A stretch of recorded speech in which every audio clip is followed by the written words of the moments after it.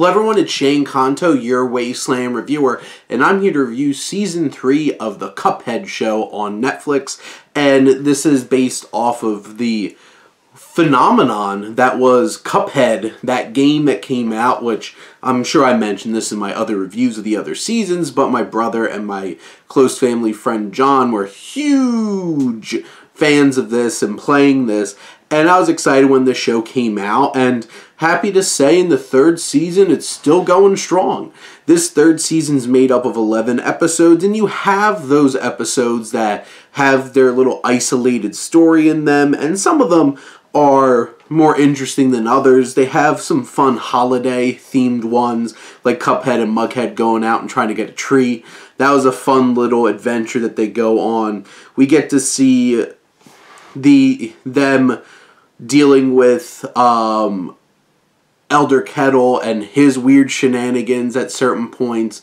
But what really stands out in this season, there's a couple of specific episodes. The first one, The Devil's Revenge, where we come off of a big cliffhanger. Mughead's been kidnapped by the devil at the end of the second season, and this return episode is fantastic. And him dealing with all the nonsense in hell and Cuphead trying to get him and dealing with Elder Kettle. And it's such a fun time. It's such an inspired episode. And there's a lot more spotlight on the devil in this particular season. And he has his fun shenanigans. He has a whole entire episode of Very Devil Christmas where he becomes Santa. And it's such a fun time because it's so subversive of what you expect a holiday episode with the devil's going to be.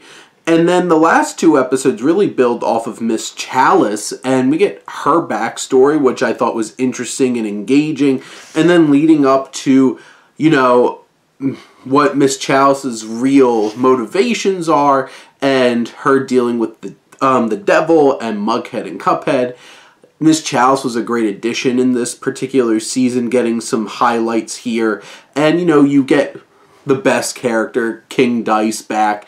Um, Wayne Brady is fantastic and gets his time to shine in some of these episodes. And this show is just ridiculous. It's over the top. It's zany. Most of the episodes around 15, 16 minutes. You have some longer ones like the A Very Devil Christmas was like 30 something minutes. But I just think this show is a blast. There's so much fun to be had watching this.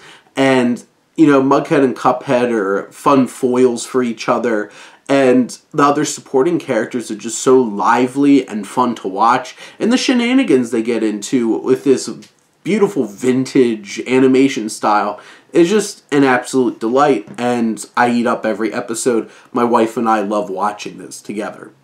But those are my thoughts on the Cuphead Show Season 3. Let me know what you think, and let's talk some TV. But thank you as always for tuning in and supporting your Wasteland Reviewer.